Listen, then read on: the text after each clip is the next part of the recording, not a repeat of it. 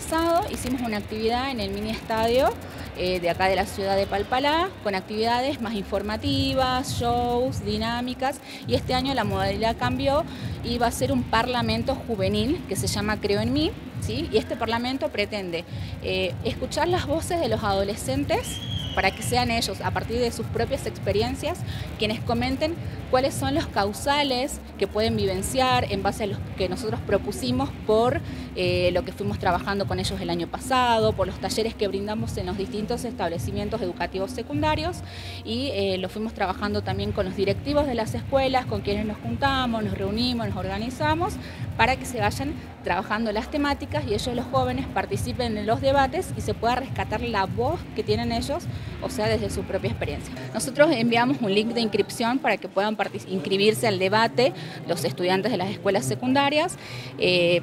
que tienen cupos limitados. Los que no desean participar de los debates pueden acercarse a los diferentes stand que tienen todas las organizaciones y participar también de las actividades que se van a realizar en el predio de la Casa de la Cultura, ya que los debates son dentro de la casa. Entonces día y horario y lugar? Bien, el martes 12 de septiembre en Casa de la Cultura de 8 de la mañana, perdón, de 9 a 13 y de 14 a 18 horas.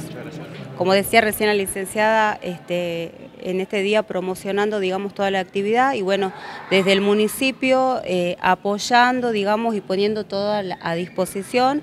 y bueno, este es el segundo año que nosotros este, nos han convocado, participamos y bueno, estamos al servicio con todo lo que nosotros tenemos acá en, el municipio, ¿no? Especialmente desde el área del desarrollo, participando con los stands y las distintas actividades y sobre todo con las áreas que trabajan con esta franja etaria que, son los adolescentes, ¿no? Y, sobre todo en este mes, como decía la licenciada, en una fecha tan importante, poder trabajar en la prevención del suicidio y, y con el nivel medio que en este mes de septiembre este, está con todo el tema de la fiesta de los estudiantes, ¿no? Y nos parece oportuno poder este, trabajar con todo esto.